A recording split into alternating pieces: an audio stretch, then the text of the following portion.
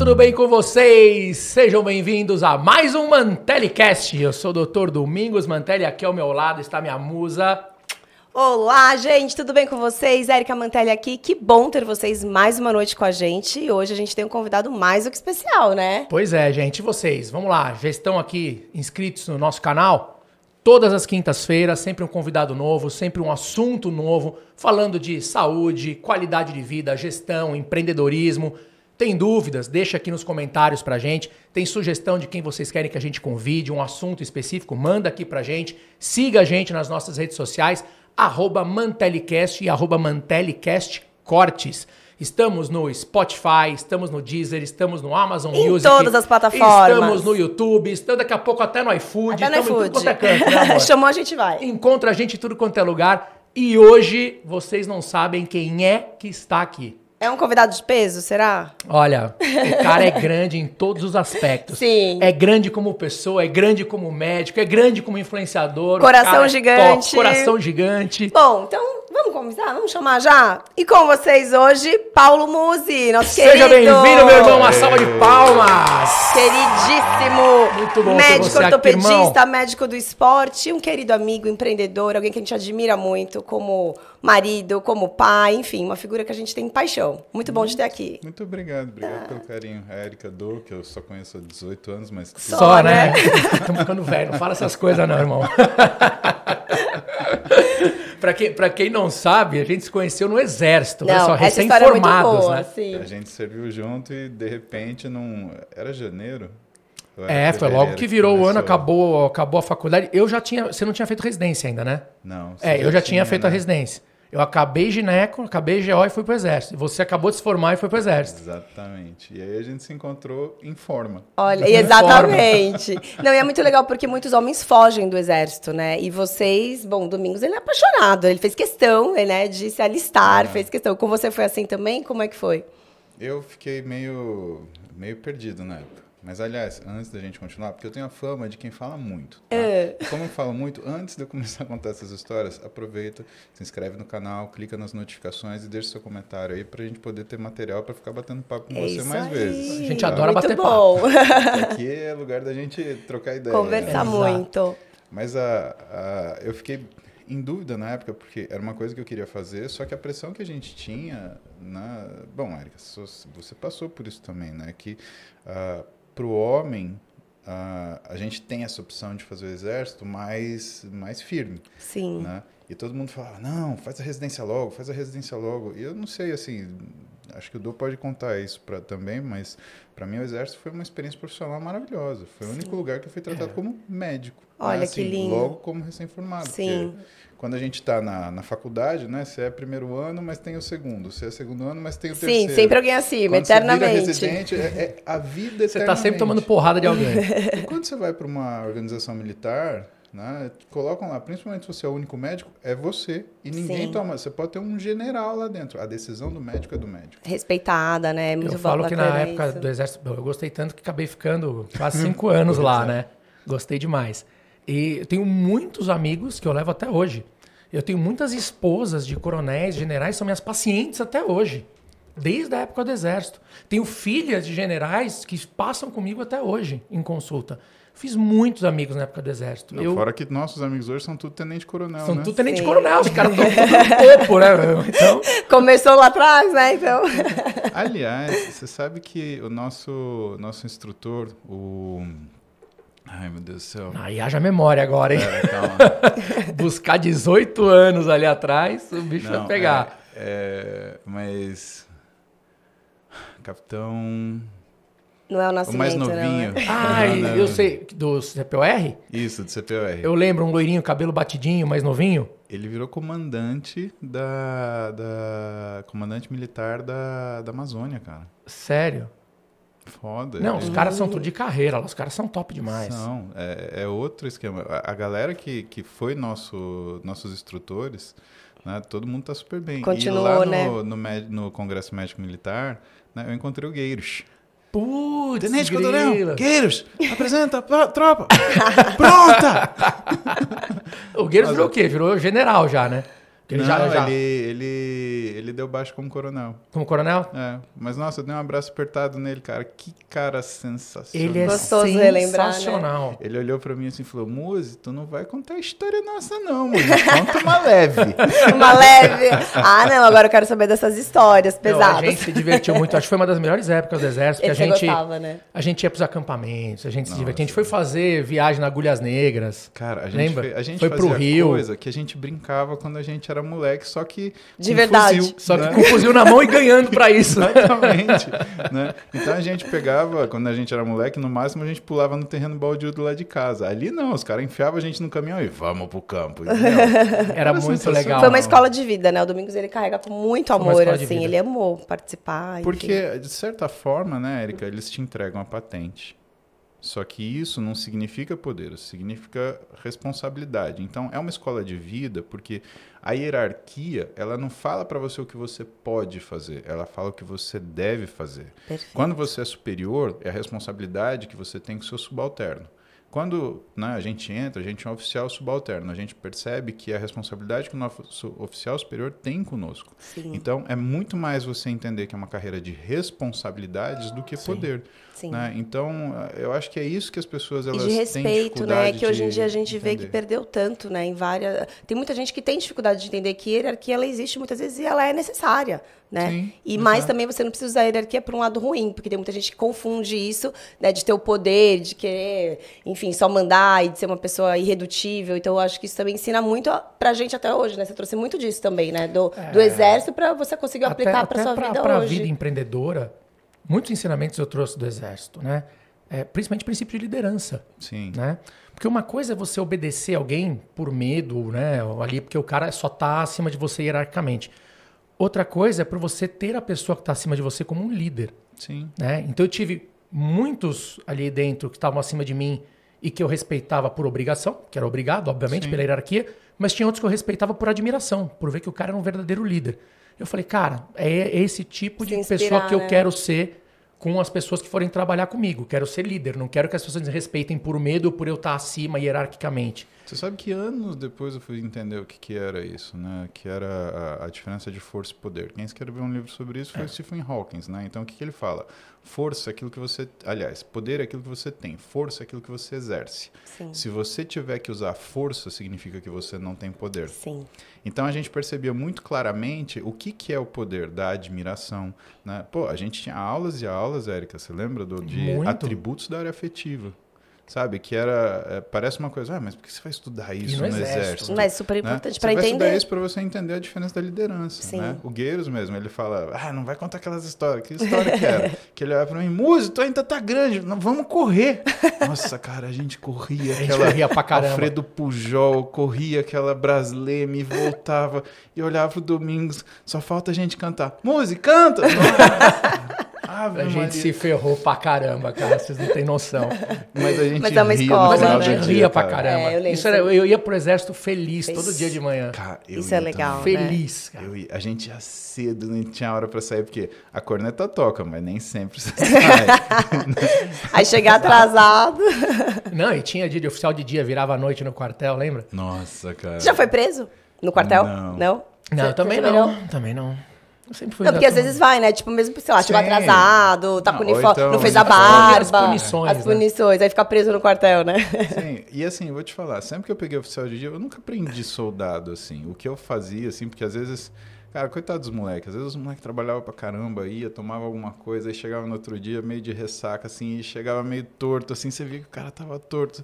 Aí eu pegava e eu dava uma missão chata pra ele, mas que ninguém queria fazer. Pô, eu não ia pegar um soldado exemplar pra fazer a missão chata, né? Então eu pegava aquela galera que tava mais caquinho, assim, tava mais encacado. Falei, não, você vai fazer isso. Ai, mas tenente, é uma missão boca podre. Eu falei, então, mas quando você for um bom soldado, você vai pegar as boas. Enquanto Eu, eu já pistolão- causava, quando eu tirava o oficial de dia, eu já pedia esfirra pra todo mundo. Fazia mó zona no quartel, comia pra cá. Eu já tinha cabeça de gordo naquela época, jeito. Ferrava com tudo. A cabeça não mudou, né, amor? A cabeça não mudou. O corpo mudou, Eu mas falo, a cabeça. A gente entrou no exército, os dois em forma, o músico continuou em forma. Eu fiquei em forma redonda depois do exército. Não, você, melhor... é, você melhorou agora. Eu melhorei. Não, mas também a gente fazia tanta coisa que intervalo, a única coisa que a gente queria era comer um pouquinho. Você lembra Sim. daquela, daquela. Tinha uma lanchonetezinha lá. Se a gente não tava em forma, a gente tava comendo numa lanchonetezinha. É verdade. Eu dava muita. Era foda, Erika. Ah, Nossa, imagino. A gente E passava Mas- você, foi fazer residência depois, então? Ele foi fazer ortop depois. Eu servi um ano, né? Foi meu ano de servir, e aí eu fiz E ortopedia na faculdade você já depois. tinha escolhido que você queria ortopedia ou ainda você estava meio indeciso? Se eu te falar que eu decidi na última hora. É?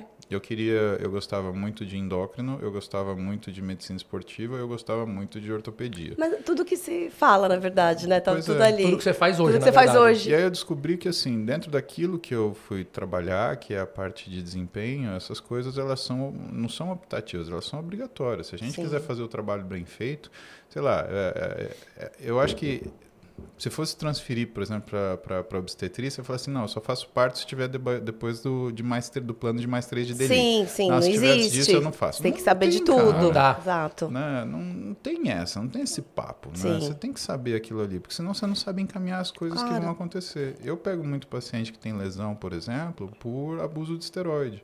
né? Então, como é que você não vai saber abordar isso? Porque tem paciente que está numa condição que, se você operar, dá errado. Sim. E a expectativa da cirurgia, vocês são cirurgiões, vocês sabem, é que a pessoa acha que no dia seguinte que ela operou, tá tudo, tudo resolvido, resolvido. porque o médico operou. Sim, E, e É não é assim. Né? É, é uma caminhada. exatamente. Né? E dentro da ortopedia você ainda tem a fisioterapia. Tem a A reabilitação recuperação. toda. Exatamente. Com, as- tem que saber que a gente pode contar, às vezes, com algumas intercorrências, um pós-operatório que nem sempre é como a gente espera, e tudo isso é bem difícil, né? Passar para o é. paciente é importante. A sensação só que eu tenho é que, assim, quando, você, eh, quando vocês fazem uma cirurgia, vocês lidam com partes moles que, assim, a pessoa nota no dia seguinte. Então, por exemplo, tem uma, uma, uma perda de urina. Vocês vão lá, faz um sling, a pessoa já sente legal. Né? Ou então, no máximo, né, ela vai fazer um- uma fisioterapia de assoalho pélvico, mas é uma coisa que ela responde muito rapidamente. Na ortopedia tem determinadas lesões que a gente cuida, que para o sujeito mexer o braço são duas semanas. É, Aí você é fala, bem só duas semanas, fica sem mexer o braço um dia. Cara, Sim. Fica numa tipóia. Sim. Você já vai ficar puto porque tem coisa que você não consegue fazer. Sim, Pega o braço limita, direito, né? põe numa tipóia e tenta ficar sem mexer. Um dia, só um dia da sua vida. Aí você imagina que tem gente que tem que ficar assim semanas. Né? Então, é, é essas coisas que a gente olha que são as dificuldades inerentes de cada especialidade. Né? E a, a sensação que eu tenho também é que a mulher, e aí estou falando aqui. né, Vamos do- ver o que, que vem. Não, a mulher ela é mais cuidadosa. A mulher não deixa virar as coisas de ponta cabeça, sabe? Sim, para chegar no limite, verdade. né? Mas isso até pela, pela O que- eu vejo muito a barriga, isso. literalmente. Pela questão de Literalmente. cuidar da saúde da mulher, você vê, a mulher ela vem de rotina. O que, que você tem? O que, que você sente? Não, tô rotina. ótima, tô bem, vem Isso. pra gente conversar e ver se tá tudo bem. Eu acho Isso. máximo esse entendimento. É, eu duvido que você pega no consultório um paciente que chega e fala assim, vem aqui, eu vou fazer o quê? Não, vim só pra fazer uma rotina com você, música. Não É, vem, né? Eles já vão arrebentados depois de estar com lesão, com dor. E, e, e- mas eu acho que tem mudado, que eu acho que é bacana também. Porque os homens estão percebendo que até mesmo com a idade, as mulheres estão hoje envelhecendo muito melhor do que antes. E eu acho que tem trazido essa preocupação para os homens também. Que é possível a gente né, ir passar o tempo e melhorar, e não piorar. Eu acho que as pessoas estão começando a ter essa noção. Porque eu vejo mais também um movimento ainda devagar, mas está acontecendo, dos homens procurar cuidar mais da saúde. E a gente fala né, do todo, é saúde física, emocional e da alimentação. É um processo longo, mas a gente, eu comecei a perceber isso aqui. O, o que eu sinto, o Muzi vai poder até me dizer se acha a mesma, a mesma coisa ou não. A gente vem de uma época de uma geração dos nossos avós que eles tinham muita saúde. Andavam Sim. mais, comiam melhor, Sim. tinham comidas mais naturais, tudo mais. Aí entramos numa fase muito ruim. Fast food, galera, meu, muito mais Sim. obesa, muito mais Cigarro sedentária. demais. Cigarro pra caramba, a galera artificial. fumando tal, tudo mais. Agora a gente tá voltando pra uma fase da galera mais natural de novo. Do pessoal, vida mais saudável, treino, alimentação mais natural. Então eu acho que aos poucos a gente tá voltando. Antigamente, poucos anos atrás, a gente via propaganda de cigarro na televisão. Sim. Hoje, fumar, dificilmente você vê alguém fumando. É totalmente Não, diferente. No começo das propagandas de cigarro, quem fazia eram médicos. É. Sim. Não, eu lembro, eu tinha, eu tinha professores que fumavam nos corredores do hospital. É, eu tive também. Bom, a gente estudou em 1990 e alguma exatamente. coisa, né? Do, Exato. O cigarro aqui na, na gente no jaleco, né? Cigarro no, no bolso do jaleco, É. cara. Exatamente. Eu gosto tanto de ver vocês, porque, assim, eu e a Roberta, a gente trabalha na mesma clínica. Só que ela foi para uma área que é meio que complementar, que é transtorno alimentar. E ela virou referência nisso. Então a gente tem a gente tem contato, mas por exemplo, a troca de experiências são de duas coisas muito diferentes, né? Performance e transtornos alimentares.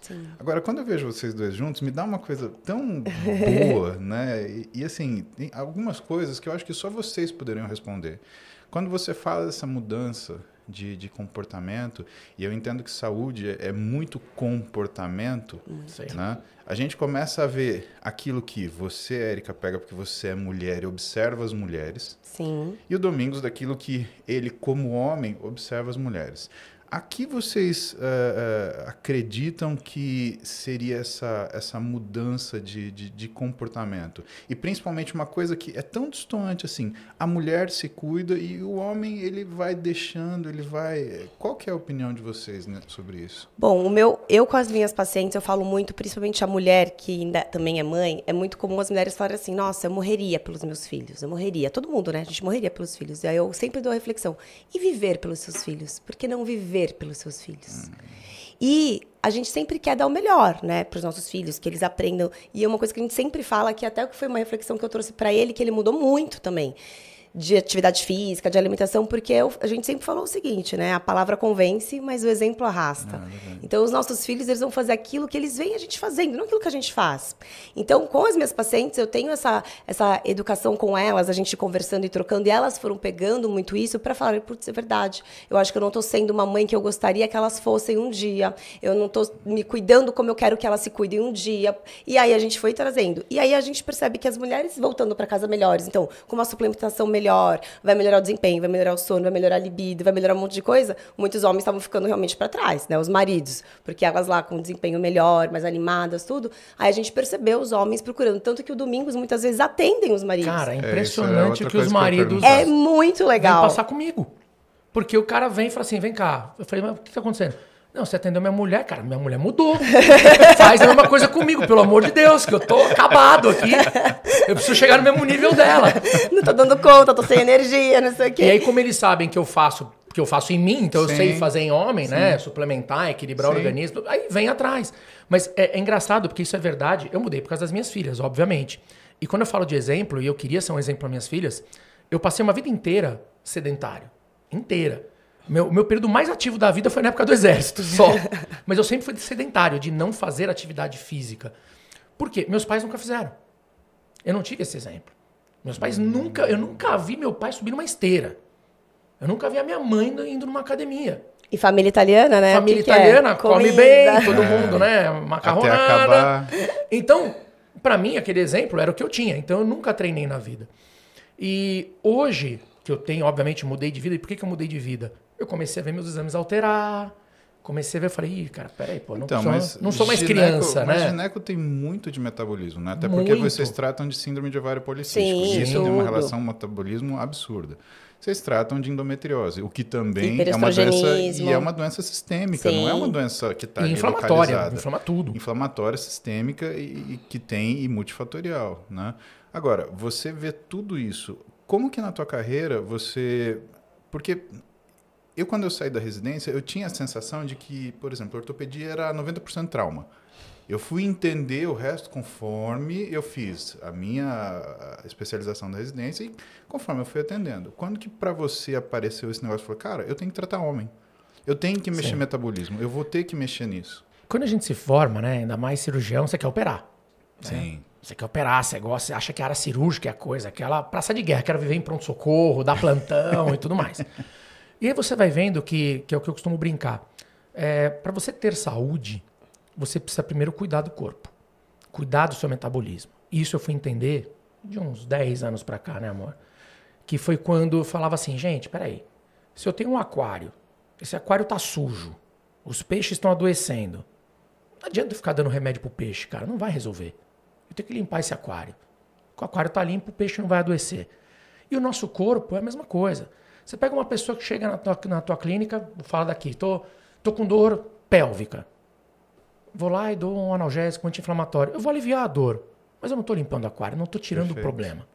Falei, eu preciso entender um pouco mais sobre esse corpo, sobre esse metabolismo, como é que estão as taxas de vitaminas, de minerais, de hormônios, como que eu faço para equilibrar isso?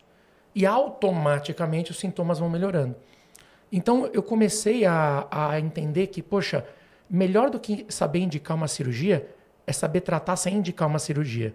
Uhum. E poupar o paciente de uma cirurgia e devolver qualidade de vida com uma simples mudança, tanto de hábitos de vida, claro, tem a parte do paciente que ele vai ter que cooperar, mas sabendo equilibrar todo esse metabolismo.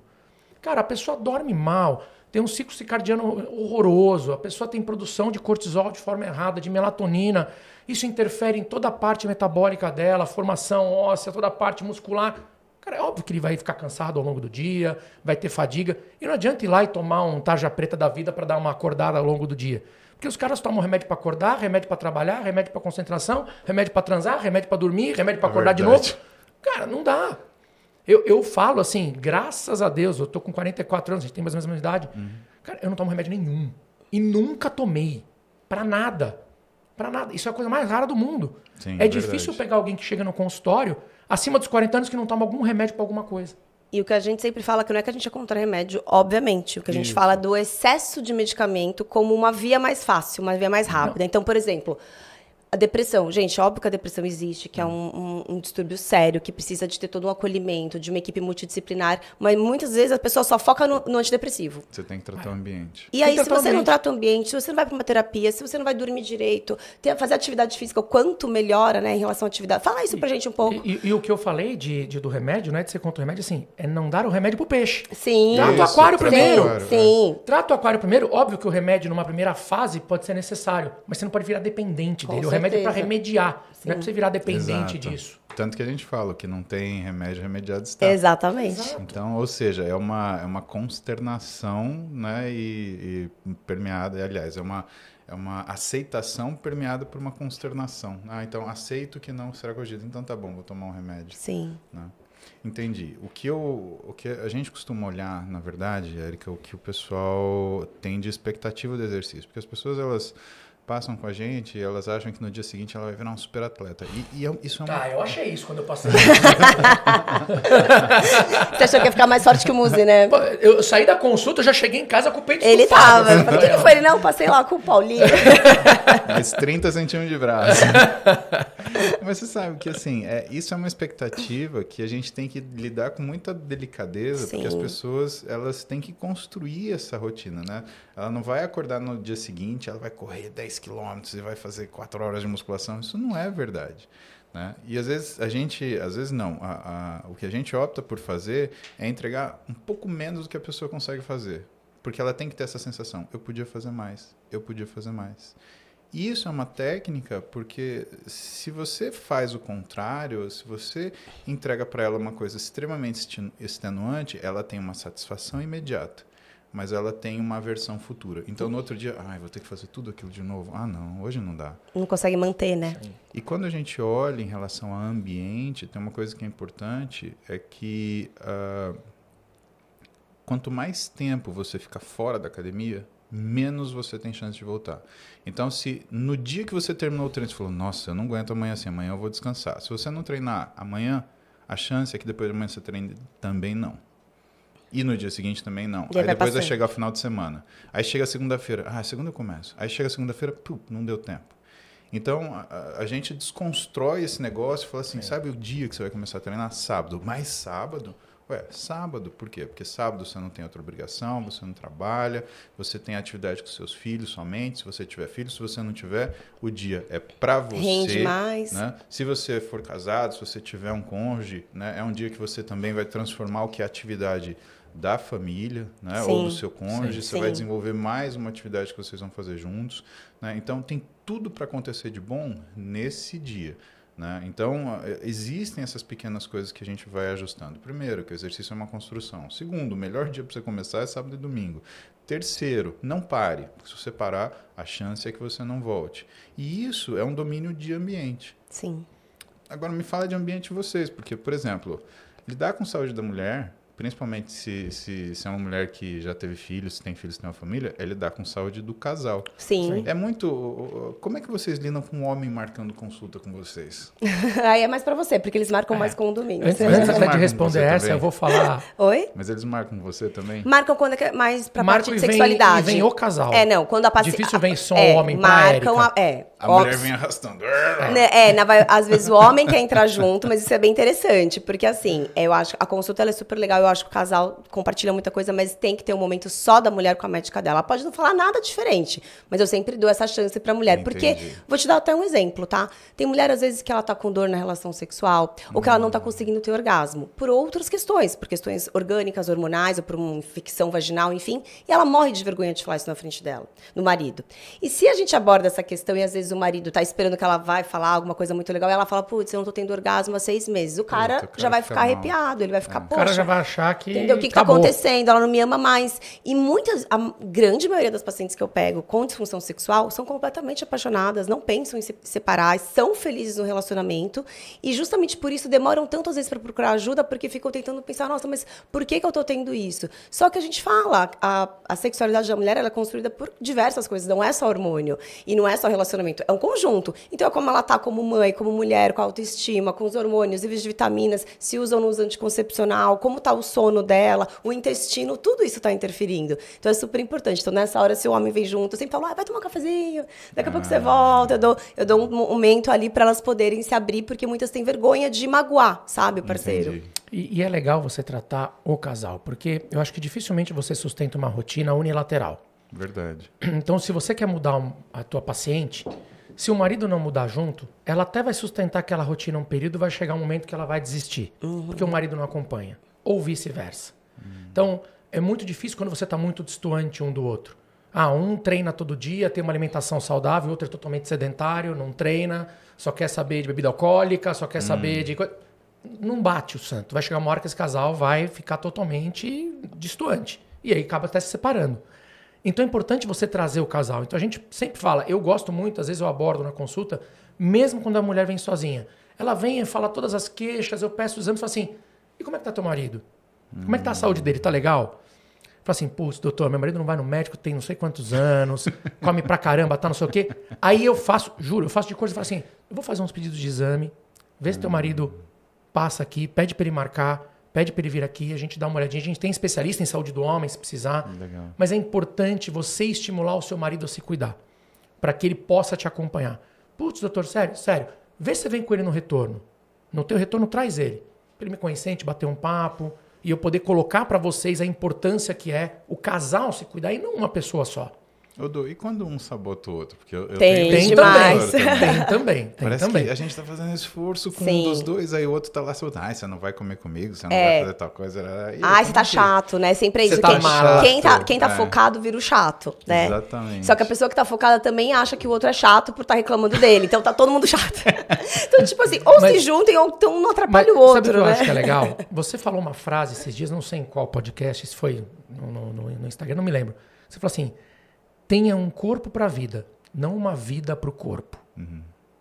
E isso me fez refletir bastante. Falei, cara, é verdade. Porque assim, dificilmente você não, você né, foi atleta, você competiu e tudo mais. Você teve um momento da sua vida que você viveu pro corpo, é diferente. A grande maioria das pessoas não. Então você tem que ter uma rotina saudável, ter um corpo para a vida, para que você tenha uma longevidade saudável. E acho que esse, esse é o X da questão. Eu, quando mudei os meus hábitos, não foi por questão de estética, por estar acima do peso, nada disso. Foi por questão de saúde. Falei, cara, eu não quero chegar aos 50 anos e infartar. É verdade. Eu tenho duas filhas para criar. Então eu preciso mudar meu hábito agora. E eu estava totalmente fora do que a Érica já fazia. A Érica já fazia atividade física, já tinha uma alimentação mais saudável. Falei, cara, eu preciso encostar nela. E aí as nossas filhas começaram a seguir a gente. Cara, você tem que ver, a Isabela tá com 5 anos, desde os 3 anos ela tem personal. Ela legal. treina. Muito bonitinho. Ela e a Júlia, elas treinam. Isso já há anos. Mas isso foi uma conversa que a gente teve que às vezes o, ca- o casal tem dificuldade de ter porque acha que, por exemplo, ah, eu vou, meu marido vai ficar chateado, a autoestima dele vai pra baixo. Mas a gente conversou muito sério porque por várias questões. E eu falei, amor, a gente tem duas filhas, elas vão crescer, elas vão casar ou não, vão morar fora ou não, enfim, mas quem vai sobrar vai ser nós dois. E eu estou construindo a minha vida para eu poder viajar até 100 anos, fazer, isso, fazer é. atividade física até 100 anos. Eu quero estar ótima, eu quero conseguir tomar meu banho, eu quero conseguir colocar meu tênis e amarrar meu tênis, eu quero ser ativa. Só que do jeito que você está indo, a probabilidade de você não me alcançar é enorme. E aí eu falei assim, e é óbvio que eu empurraria a cadeira de rodas para você. Eu fui bem sincera, tá? Eu falei assim, empurraria a sua cadeira de rodas, com certeza, na alegria, na saúde e na Morro doença. abaixo, né? É, Vai, vai embora. Não. Mas é, é uma, é uma sacanagem comigo, porque eu me cuidei a vida inteira. E a gente se privar no futuro porque você não se cuidou. Porque uma coisa, Deus me livre, um acidente, óbvio. É verdade. Uma coisa, Deus me livre, um acidente, um AVC, um câncer, alguma coisa, isso é indiscutível. Agora, você sofrer consequências de um corpo porque você não valorizou o seu templo, não cuidou do seu corpo por escolha. E, e é escolha, porque eu sei que tem gente que a gente fala, é o mundo real, o mundo ideal. Exato. Tem gente que a gente sabe que não consegue, que a pessoa trabalha 14 horas por dia, porque a pessoa mal tem dinheiro para comer. A gente sabe de diversas coisas. Mas ele tá num ponto que ele consegue. Ele consegue. A comida tá lá. No meu caso, ele é opção. Pode, é opção. Tem Tem lá o prato opção. maravilhoso de salada, um grelhado tal, não sei o quê, e tem o fast food. Ele escolheu fast food porque ele queria. E aí, quando, aí, eu, falo, aí eu comecei a falar isso pra ele numa boa. E é no momento que eu sempre falo pros pacientes, pro casal, quando você fala uma coisa muito importante, não é jogando na cara. Não é no momento da briga. Porque nisso a pessoa não vai ouvir o que está falando. Ela vai ficar com raiva e é o mecanismo de defesa do cérebro dela. Ela não está nem ouvindo, ela só vai querer se defender. Chama pra uma conversa, senta, vai jantar um dia legal. Eu, comece elogiando o seu parceiro. Poxa, eu te admiro, eu te amo, a gente tem uma vida legal junto, eu quero ficar com você para sempre. Mas. Eu aí tô gostando muito de ouvir isso. É. E, e é bom ouvir isso porque. ah, e aí é outra coisa que eu queria perguntar pra vocês. Vocês lidam com coisas muito íntimas Sim. e, e muito sensíveis das pessoas. Uhum. né? Como é que isso afeta o relacionamento de vocês? Eu acho que afeta talvez positivamente. Sim, porque po- positivamente. sim, porque a gente. Eu, A gente tira lições, né? tira muitas lições, porque a gente conversa muito, né? E é muito legal porque as pessoas acham que, assim, médico, né? é, A gente tem uma coisa entre a gente muito ética mesmo. Paciente minha é paciente minha. Não é paciente dele. Mesmo sendo amigas, eu não falo absolutamente nada. Isso é uma questão ética, óbvio, sigilo médico. Tanto que eu tenho pacientes, por exemplo, minhas que estão grávidas, encontram com ele no corredor e vão todas cheias de sorriso, achando que ele vai dar parabéns.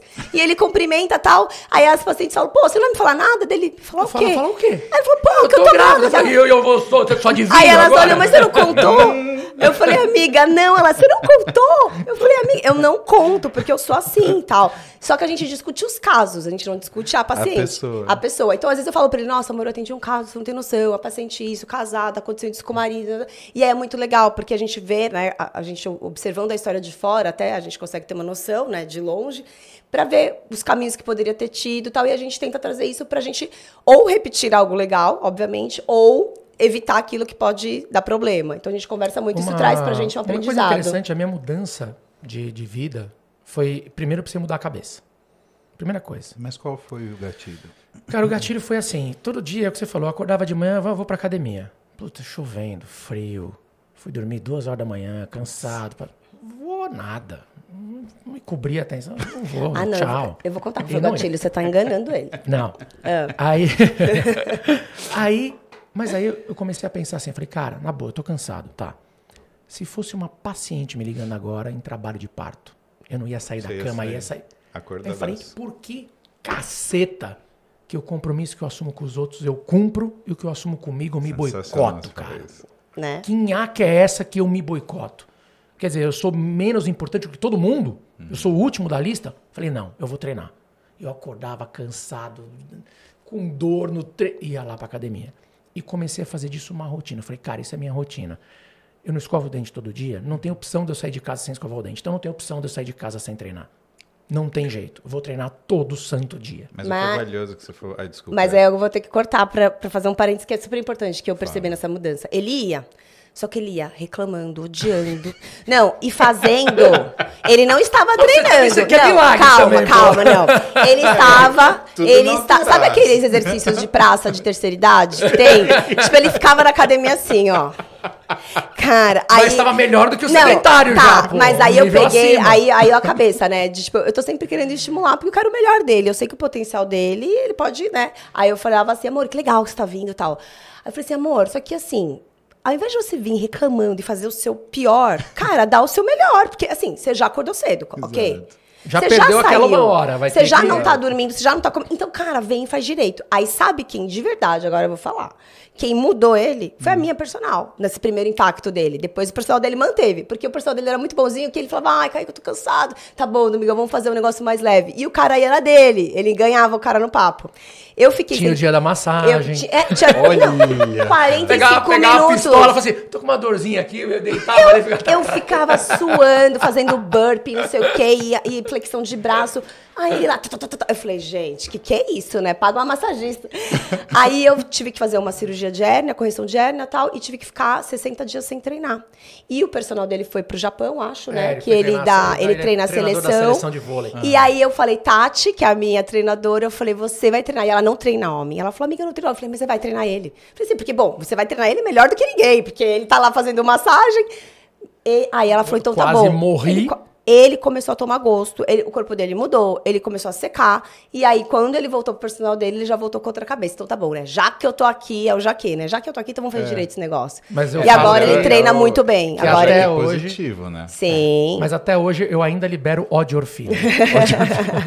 Três coisas valiosas que vocês falaram que é muito, eh, é muito importante no consultório. Primeira coisa, vamos pela ordem. É você falar aquilo que eu faço pelos outros, não faço por mim.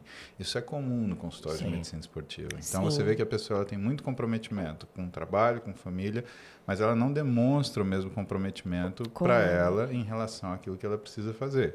Né? E o que a gente chama atenção não é uma questão dela tirar energia daqui ou dali, ela causar equilíbrio.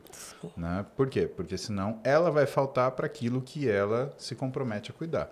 né? Então você tem filho, então você precisa viver, né? Você precisa cuidar dele. Você tem trabalho, então você precisa viver para você criar o seu legado, né? É- Com são certeza. as coisas que são, são básicas. Segunda coisa, deixa eu te falar, você é mulher, você não convence, você manda, você fala assim, faz. É simples isso. Eu, eu, eu acho que esse chip você não colocou. Elas têm um poder de chantagem que elas não É, sabem. Não, você não sabe. Né? Então, você não precisa ser elegante a ponto de saber e não usar. Usa, o homem precisa disso. tá? Precisa, isso né? É, isso, é, isso é muito, muito, muito importante. Né?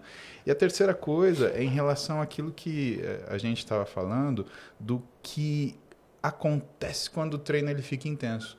Porque um treino monótono, ele sempre ele vai caminhar para um cansaço, porque ele não ativa você, ele não, ele não é uma, não gera uma energia de ativação que faça com que você tenha modificação de secreção de hormônio, neurotransmissor. O prazer vira- pós, né? Exatamente. Ou a audiorfina que você falou, que é muito válido, né? Agora eu vou fazer. ah! Eu, eu vou com raiva, mas saio feliz. Exatamente. Aí, o que, que você vê as pessoas? Quando elas vão na academia nessa monotonia, que fica no telefone, fica lá ah, se balançando, elas vão com raiva e saem com mais raiva ainda. E não vê, tempo e não não vê rendeu nada. né? Exatamente. Perdi meu tempo. Não, só fiquei mais cansado e não estou vendo resultado porque eu estou fazendo isso há seis meses. Sim, porque está fazendo errado. As pessoas elas vão à academia, poucas treinam. e todas se colocam naquele intervalo de conforto que elas falam o seguinte: ah, mas eu não quero ficar muito forte. Ah, mas eu não quero mudar. Eu tenho medo. Não, o caminho é o mesmo. A diferença entre as pessoas é quanto tempo elas seguiram nesse caminho. Sim. E a gente precisa entender que a gente tem um tempo para seguir, que é o tempo que nós precisamos. Isso é individualizado. E isso é muito complicado de você passar. E muito daquilo que a gente faz nos primeiros meses é entregar para pessoas o que são os resultados parciais, porque elas acham que realmente, depois de uma semana de treinamento, elas vão estar igual Arnold Schwarzenegger, ou, o cara com físico, ou a menina que tem a cintura assim, a bunda assado. E não é assim. Né? A gente tem que ficar ajustando essas expectativas imediatas para a pessoa também entender o que, que é a resposta pelo tempo e saber o que, que ela pode esperar. O que recado que você daria para a maioria das pessoas que estão assistindo a gente que falam isso? Poxa, eu treino, treino, mas não vejo resultado.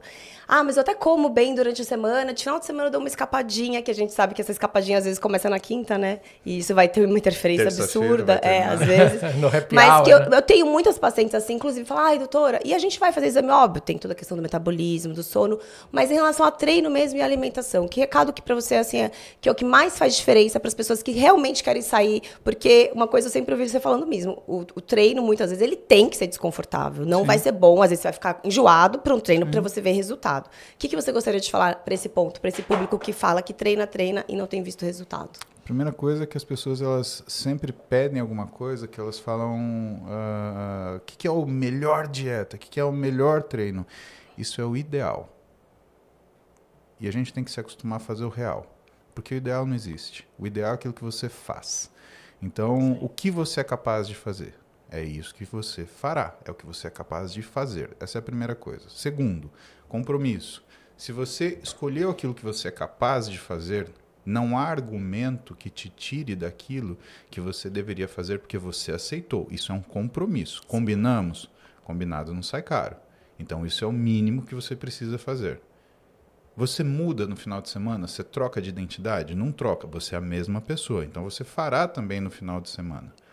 Porque essas mudanças, elas mexem, e aí a gente conta um pouquinho da parte médica que a gente trabalha para as pessoas, elas, me elas mexem com aquilo que é a nossa capacidade de formação de hábito. A gente tem núcleos no nosso cérebro específico que as pessoas. Uh, a gente, por trás das, das cortinas, né, como médicos, nós vamos persuadindo as pessoas para elas manterem aquela rotina para dar tempo dessas estruturas funcionarem. Agora, entenda Formação de hábito é uma coisa extremamente variável. Se você olhar o que a literatura fala, tem gente que forma um hábito em três semanas, tem gente que demora 180 dias. Nossa. Então você fala, ah, mas eu vi um trabalho que a média é 66 dias. Esse trabalho ficou muito famoso. Sim, mas isso depende se as pessoas elas são ou não formadoras de hábito. Se você pega uma pessoa muito focada, muito uh, uh, resiliente e muito decidida, ela forma um hábito assim. Até em menos tempo. Agora, imagina que uma pessoa que, assim, não, isso não estou fazendo um julgamento, tá, Érica? Uhum. Eu estou falando daquilo que são... Da sua prática, tô, que você vê. Estou observando, né? Então, por exemplo, eu, Domingos, a gente entrava no alojamento de, de, de, de, de tenente e tinha o cara que tinha a cama arrumadinha, e tinha o cara que tinha a cama arrumada, e tinha o cara que não tinha, parecia uma bagunça. Cada um é de um tinha jeito. Arma misturada com comida, com munição, com, sei lá, revista de coisa. E que que é isso? Né? Na, onde que isso daí existe? Né? Uma pessoa é. que, por exemplo, acorda e não arruma o próprio quarto, né? que quando se troca, deixa a roupa jogada no chão, que quando faz a sua comida, ela deixa a louça em cima da pia ou deixa a louça ainda na mesa, ou pior, ela nem a, faz a comida dela. Como que você quer cobrar que essa pessoa ela mude para o dia seguinte e consiga se aderir àquilo que é a rotina que ela precisa? Tem coisa muito mais elementar antes do que fazer uma dieta. Sim a organização de tudo, né? Porque senão ela não vai conseguir sair do lugar, né? E é por isso que lá a gente tem uma clínica multidisciplinar, porque quem que costuma fazer essa preparação mental?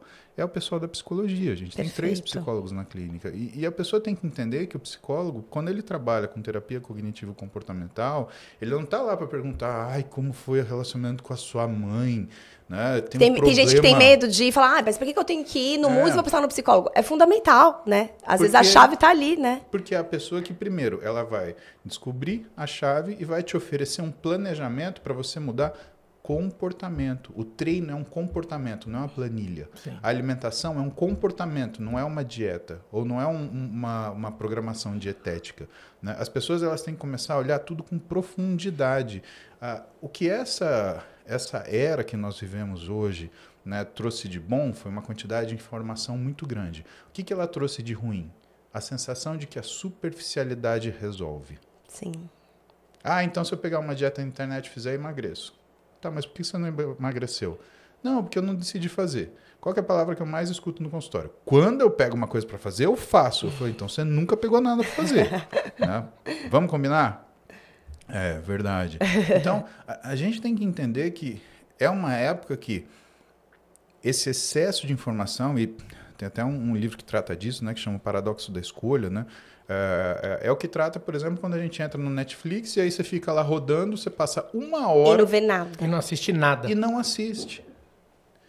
É Por isso que a gente procura um profissional. Não adianta você ficar olhando dieta na internet, treino na internet. Tem que passar em 10 médicos diferentes ao mesmo e tempo. E a medicina Exatamente. personalizada vem disso, né? Vai ser algo específico para você, que não vai ser igual para o seu marido, que não vai ser igual para sua amiga, que não vai ser igual para a, a, famosa que você conhece. Uhum. Vai ser personalizado, né? E que talvez não seja até para aquela pessoa naquele momento. Eu tenho pacientes que eu atendi a primeira vez, por exemplo, em 2012.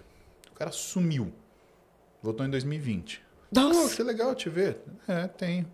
Né? E aí eu falei, pô, que legal te ver. Ele, é, a época que eu passei com você, eu não. Não era uma época boa. Não era. Eu não estava preparado para escutar ou para fazer as coisas que você estava me mostrando. Eu não conseguia entender. Hum.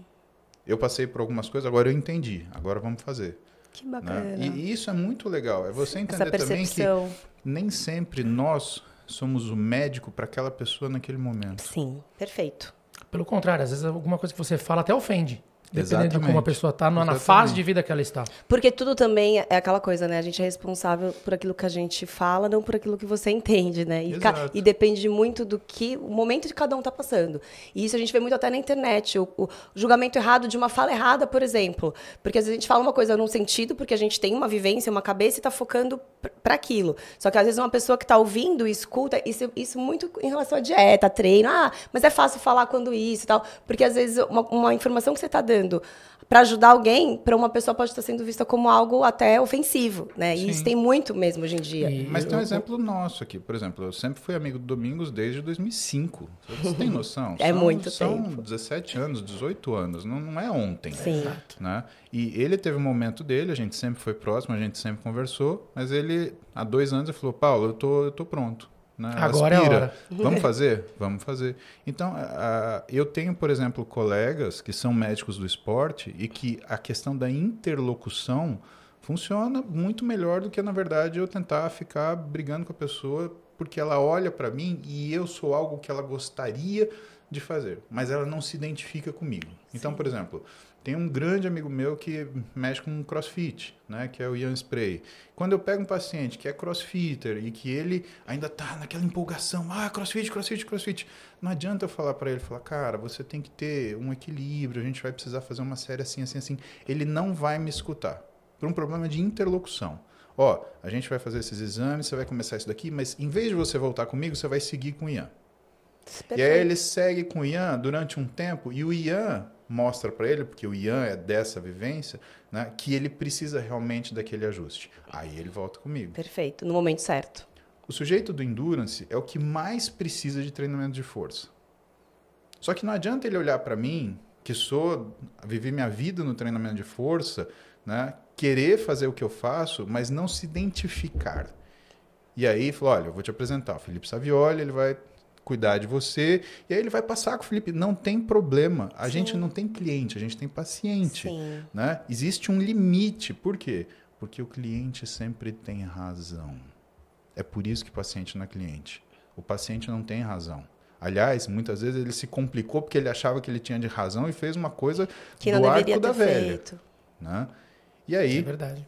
Vai com o Felipe, ah, correu, correu, fez isso, fez isso, fez aquilo, até que ele chega uma hora que ele travou e ele percebe, né? E o Felipe traz isso para ele e fala, cara, o que você tinha que fazer de corrida, de endurance, de tudo, tá aqui, acabou. Ou você treina força, ou a gente não segue. Então, existe essa, essa, essa troca de pacientes, de informação, onde o paciente ele circula no nosso meio, onde dentro da nossa rede de confiança também, porque você está entregando, é, é quase como se fosse um filho. Uma Sim, vez que essa uma pessoa passa com você, é uma responsabilidade. responsabilidade. Claro.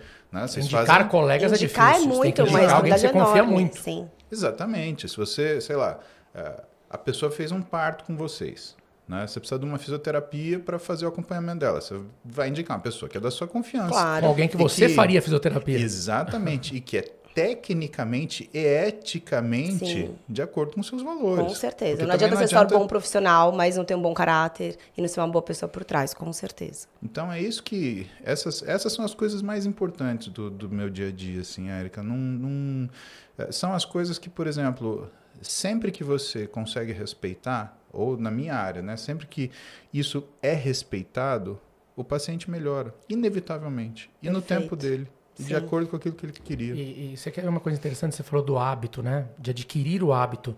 Eh, a gente adquiriu tanto hábito, eu, principalmente na parte de treino. Hoje, quando a gente vai viajar para qualquer lugar do mundo, a primeira coisa que a gente olha no hotel que a gente vai Tem ficar é a academia. academia. E antes, tá? Você acredita? Ele falava. Eu, a gente olha e eu falo assim, nossa, que academia é merda. Não, isso aqui não, pega outro hotel. Não, ele olhava Desse você jeito, e cara. falava, "Ô, só o Muse mesmo pra pedalar esse horário, que maluco, não sei o quê. Olha como muda, né? Porque muda Agora hoje estou eu lá de manhã na bicicleta, a pedalando igual posição, louco. a, a visão do que ele tá tendo. Você tá fazendo a mesma coisa, O mas hoje ele é enxerga de maneira razão, diferente. é Exatamente.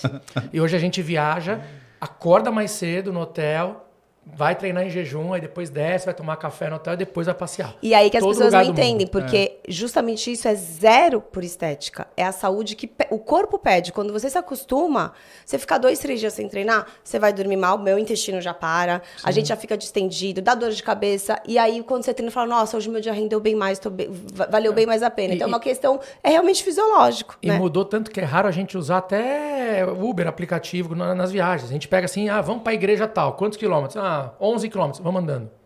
A gente vai andando, vai gente vai parando. andando, vai parando, vai conhecendo a cidade. É. vai. É raro a gente pegar carro nos também. lugares quando a gente tá viajando. Não, é a coisa mais gostosa é, é se perder e se achar. Se achar, é. Porque aí você conhece as coisas. Pô, Sim. é sensacional. Aliás, viajar é a melhor coisa do mundo, né? Eu gosto também. E você sabe que eu aprendi a viajar com um guia no México. Ah, é? Ele me entendeu, ele, ele entendeu uma coisa que eu tinha é, é, intuitivamente e que eu nunca consegui dar nome para isso. né? Ele estava falando, né? Ele era porque o lugar que a gente foi lá né, era muito nítido a diferença entre as pessoas que tinham ah, antecedentes astecas e que tinham descendentes maias, né? Ascendentes maias Cultura bem diferente. cultura, forma física e tal. E aí eu comecei a perguntar pra ele de história, de coisas, e coisas que interessam pra gente médico, mas que, que, que características você percebe que a pessoa é descendente desse ou daquele? Aí ele começou, pá, pá, pá. Aí ele me parou uma hora, ele, falou assim- ele virou pra mim e falou assim, você é turista, né? Eu falei, não, eu sou óbvio que eu sou turista, eu tô aqui. Aí ele falou, não, não, você é viajante. Ah, que lindo. Puta, o cara matou. Que legal isso. Ele entendeu que alguns de nós viaja para ir em pontos famosos, tirar uma foto e sair. Outros querem viver a experiência do lugar. Não é uma questão de valor, que Sim, é cada melhor. um é de um jeito. Cada um é de um jeito. Exatamente. Mas assim, eu gosto de me envolver naquilo. que- Como é que o cara vive? Sim. Né? O que, que o cara come? Como é, como é que as coisas funcionam? É muito né? legal isso. A gente teve essa vivência em, em Zurique, na Suíça, que a gente pegou uma guia para fazer um passeio a pé. E foi um dos melhores city tours que a gente fez, porque a gente entrava a pé em lugares que se você tivesse- tivesse de carro, ou tivesse fazendo aquele city tour rápido, você não ia nem ver. Sim. E ela deu falar para ela onde que, é- onde que o pessoal come, quem mora aqui come aonde. Não sei o que. Daí ela fala, ah, pessoal, a, a gente foi em escola, daí ela mostrava o passeio que as crianças faziam, ia no A parque. gente é vai, tão entra em gostoso. universidade, tipo, Tão coisa que não é gostoso. habitual. Sim. De você viver assim, ah, essa fonte é uma fonte de não sei o quê. É muito legal isso, né? Você viver ali um pouquinho do que as pessoas vivem no dia a dia. E é Até porque riqueza essa escolha, assim, tipo, ah, eu paro o carro ou não paro? Ah, não, vou ficar aqui. A gente segue, depois já, já vimos. Sim. Não é isso. A gente. Por onde a gente foi que, que foi engraçado? Ah, ano passado, né, a minha mais nova, ela não conhecia a Disney. E a Roberta ficava, a gente precisa levar a Clara a conhecer a Disney, precisa levar a Clara. Falei, tá bom, então vamos. E eu tenho pavor da Disney. gente. Sério? Cara. Nossa, eu amo a Disney. Dou, Porque você não cabe nos brinquedos, é isso?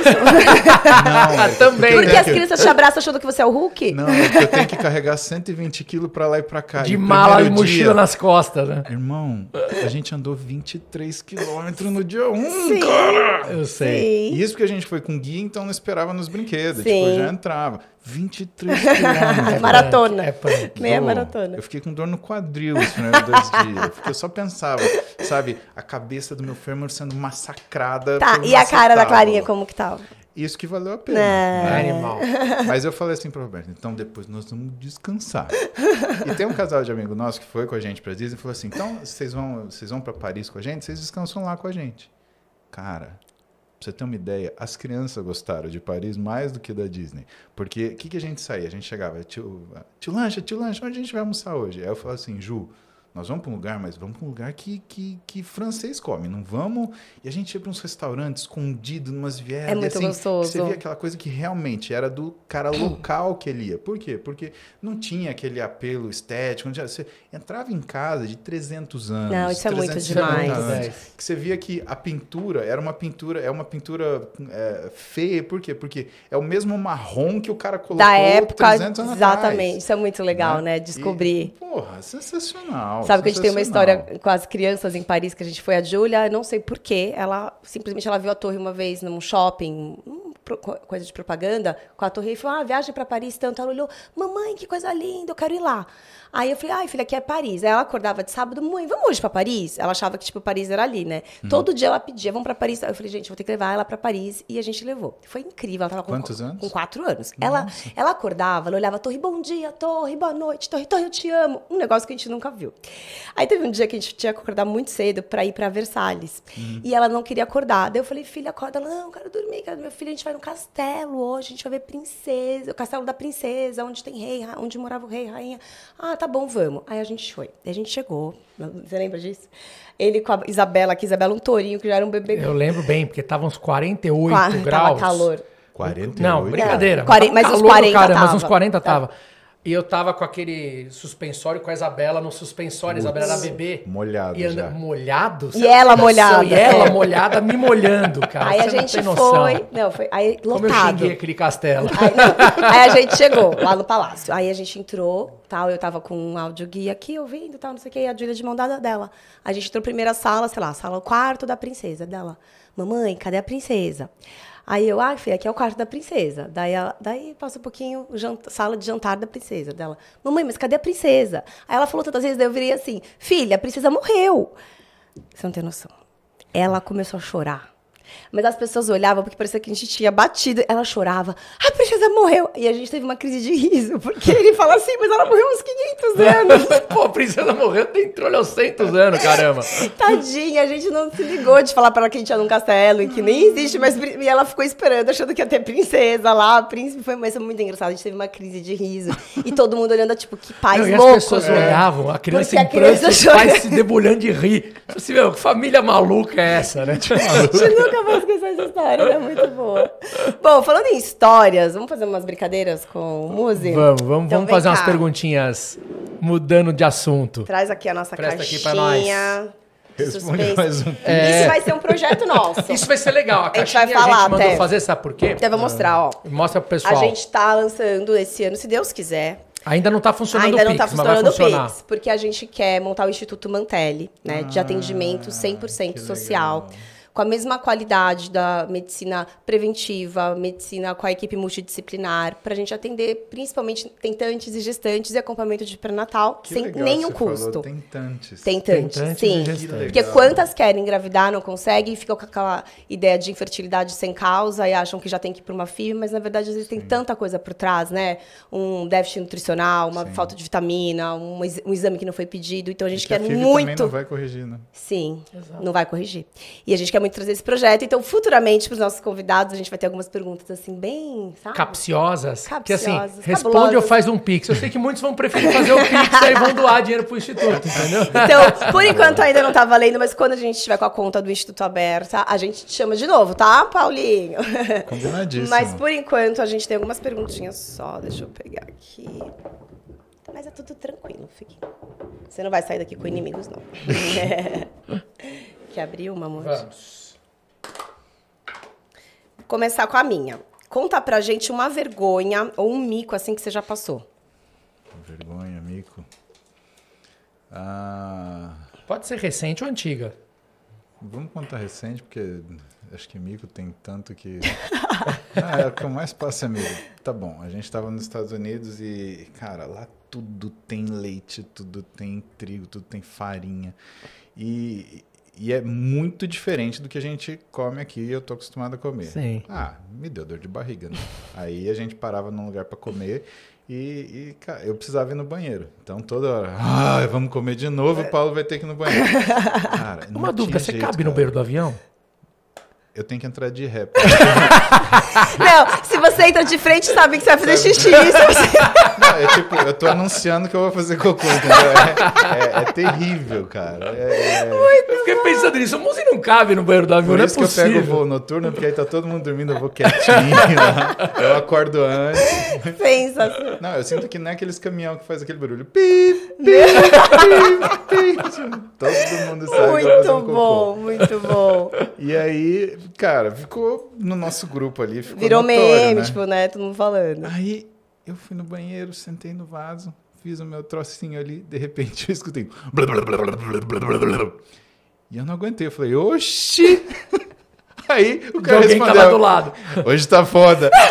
Aí o cara do outro lado falou, quer dizer, três brasileiros sentados juntos, olhando isso. Com a chance, né? Cara, e não, isso, o pior é que assim, isso não é, não terminou aí, porque a gente saiu na mesma hora, Meu aí Deus. os caras olharam pra mim, Paulo Moura! Assim. Aí eu falei assim, a minha mãe não vai acreditar, preciso contar pra minha mulher, o outro falou Caguei assim, com o Paulo caguei com o Musi." Paulo Musi. Meu, já ganhou 2 kg de massa já. Aí, que lindo. Muito bom. Sensacional. Não, essa é boa. Imagina, Tirou- cara. tiraram a selfie no banheiro, não? Eu falei, é melhor a gente E lá sair. fora um pouquinho, então tá bom. Não, isso é história. Não, o pior foi, até aproveitando essa história, a paciente minha contou que ela foi fazer exame de fezes e a médica dela, que era de outra cidade, pediu falou assim: não, faz o seguinte, pô, faz no, no- no pacotinho, no, no- no potinho, coloca pra mandar pelo Sedex pra vir pra cá pro laboratório pra mandar, só não declara o que é, porque se declarar o que é, eles não vão deixar você enviar. E leva lá e tudo bem. E aí ela pegou, levou, embalou tudo bonitinho, as fezes e tal, pra poder levar no, pro exame. Chegou, isso foi essa semana, a paciente me contou. Ah, não. Juro por Deus. Ela chegou no correio e tal, não sei o que. Aí falou assim: Ah, mas precisa declarar o que, que tem aqui. Aí ela foi lá e colocou assim: Não, é um presente que eu tô mandando pra uma amiga. E escreveu presente pra amiga. Aí chegou nela e falou assim: Não, mas a gente tem que abrir pra conferir. Aí ela falou assim: Cara, eu não sabia onde enfiar minha cara. Os caras iam abrir o meu pacote de cocô e eu falando que era um presente pra uma amiga pra mandar pelo correio. Não é possível. E não sei o que. E os caras abriram. Meu e era com aquela cara lá assim: Ai, Jesus. Me desculpa, é que eu precisava mandar. Não, minha senhora, isso aqui a senhora não pode mandar pra sua amiga. tá bom, daqui. Ela falou, passei um carão por causa da médica, que eu só- mandava enfiar as festas pelo correio, cara. Era só ela colocou assim, era merda nenhuma. Pronto, tipo, já é. Ótimo. O que você tá declarando? Merda nenhuma. Tô mandando um presente de Mandei. merda pra Ah, minha tá. amiga. Exatamente. Muito bom. Muito bom. Eu né? nem gosto tanto dela assim. É, então, imagina, gente. que É uma trollagem. Ai. Muzi, uma mania. Nossa, arrumar academia. Arrumar, Arrumar? academia? Cara, eu não consigo treinar se a academia não estiver organizada. Tipo, se os pesos estão fora, você sai colocando em ordem. Sabe por quê? Porque assim, principalmente a academia que tem pouco peso, eu tenho que ficar fazendo um crossfit para conseguir montar o Sim. aparelho.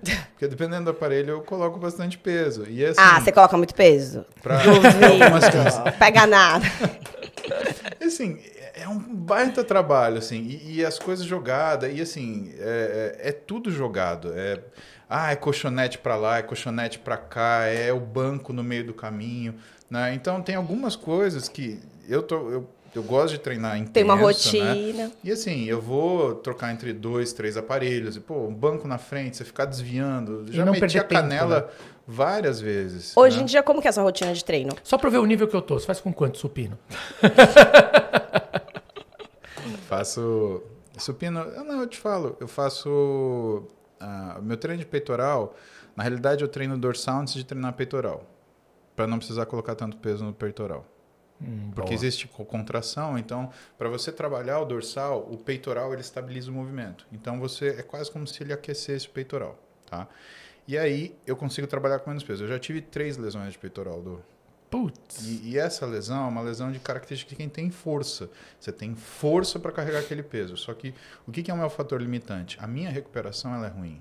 Porque nem sempre eu consigo fazer quatro, cinco refeições sólidas, porque eu durmo pouco. Isso não tem jeito. Eu, eu brigo com uma insônia há anos. Já eu tomo medicação para isso, que é uma insônia de fundo ansioso. Então, cara, eu, eu, eu tenho depressão. Né? A gente fala que é, a gente, ah, eu tive. Não, eu tenho. Quer dizer que se eu deixar o meu ambiente cair, eu entro em sintoma. Sim. Né? E eu tive lá na residência. Né? Eu tive crise na residência. Então eu tomo medicação. E ainda assim, eu tenho dificuldade de ajustar o que é meu sono. Então é muito perigoso eu colocar minha força total no supino. Né? Eu- A supino chance de meu- lesão é muito grande. eu, eu faço um supino de força 240, 230 Pelo quilos. de né? Quanto você faz, amor? Então, É 30? Trintinho. Não, mas isso daí é o que isso, isso é o meu workload.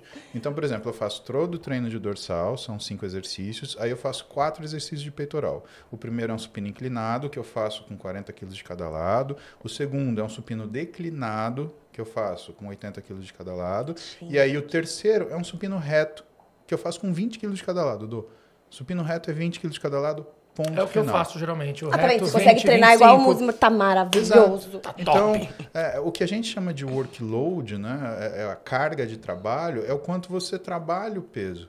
Precisa ter picos de força? Sim, são necessários, mas ah, eu só posso fazer aquilo que eu consigo recuperar. Então eu controlo o peso.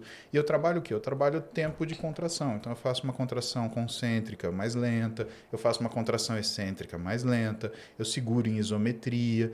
Né? Muito mais do que arrebentar em carga, né? trabalho, é, Sim, que tem muita gente que pensa nisso, que é só a carga, né? Aí você vê muita gente colocando muito, muito, muita carga, mas aí o movimento sai errado, aí a chance de lesão é enorme. Exatamente. Então, às vezes é melhor trabalhar com uma carga bem, pela metade, se for, mas com muito mais tempo, né? De ida, de volta. E isso motivou até pesquisas, né? Um dos maiores pesquisadores, né, publicadores na área de treinamento de força do mundo é o Belmiro de Salles, né? Ele é lá da UFRJ no Rio.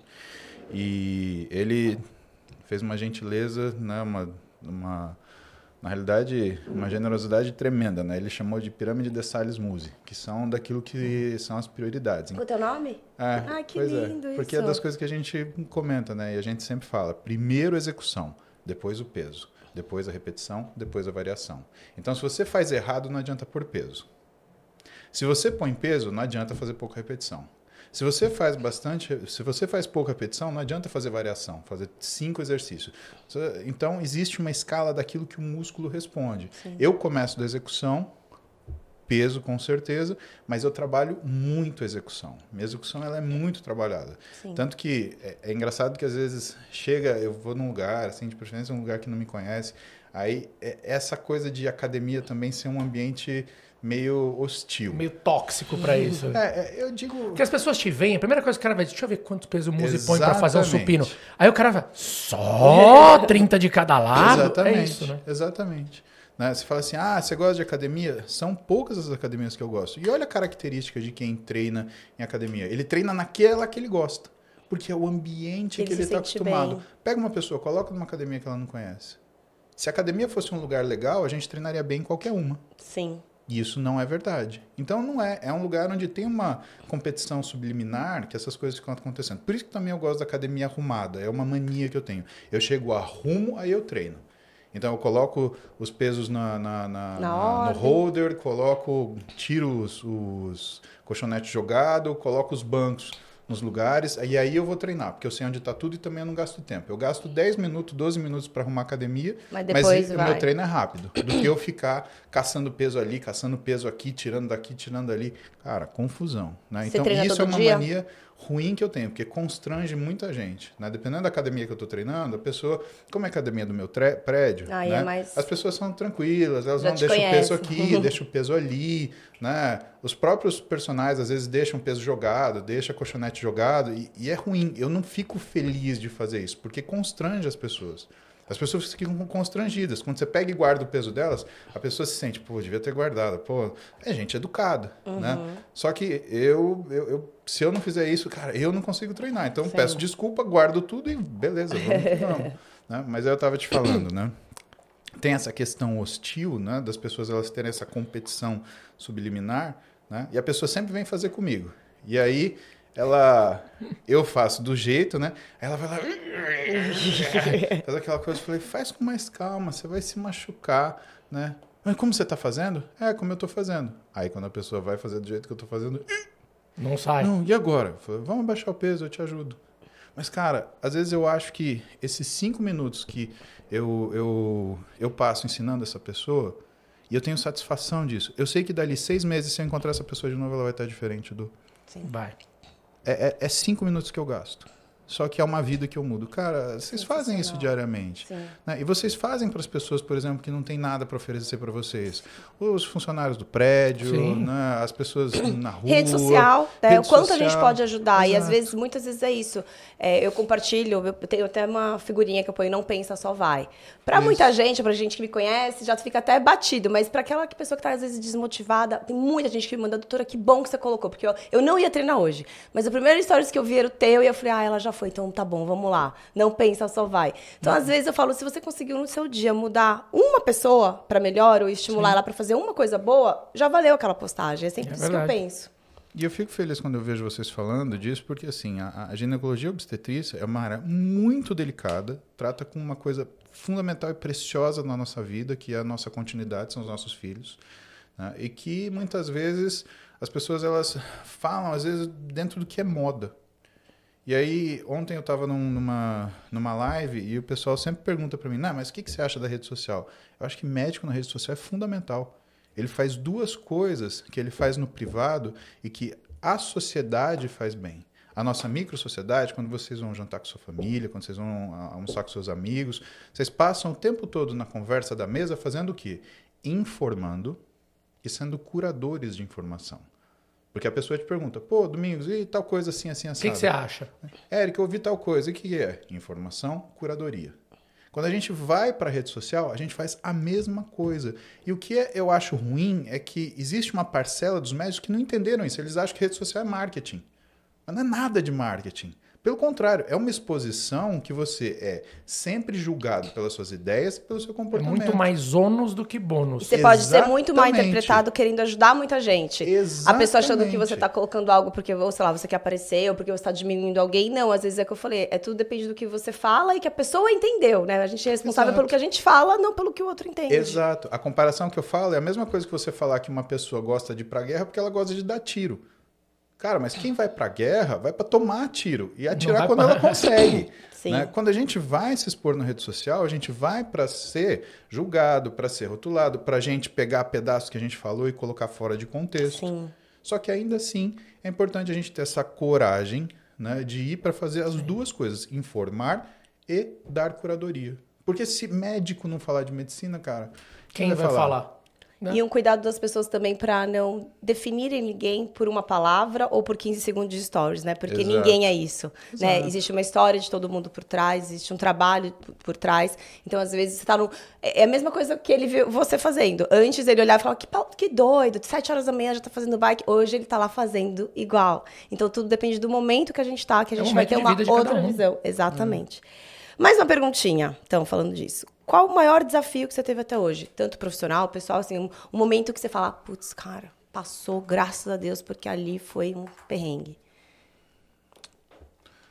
Se a gente for falar a verdade mesmo, eu acho que foi o, o, o ataque virtual que a gente sofreu, nossa família sofreu no final de 2022. Porque eu estou muito preparado para isso. Eu não. Sabe, quando eu pego. Quando eu vejo. Quando eu entendi né, a internet.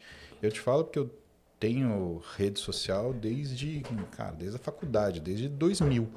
Né? Tinha o... Eu tinha o Blogspot, eu tinha o blog Performance Saúde. Como é que chamava aquele outro Orkut, lá? O... Orkut. Aí depois Facebook, aí depois Instagram, aí depois TikTok. Então eu entendi como é que funcionam as coisas. As pessoas têm muito mais facilidade para te ofender, para te agredir, para tentar te, te, te tirar do seu cérebro do que o normal. E eu entendi duas coisas. Primeiro, você tem que se calar para quase tudo que te escrevem. E a segunda, você não pode se calar para tudo.